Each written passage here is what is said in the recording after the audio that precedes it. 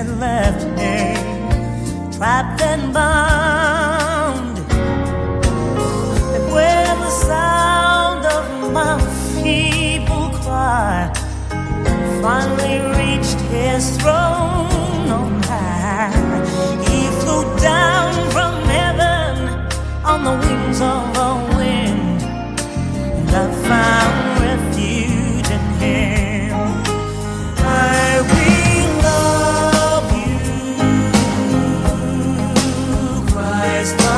say.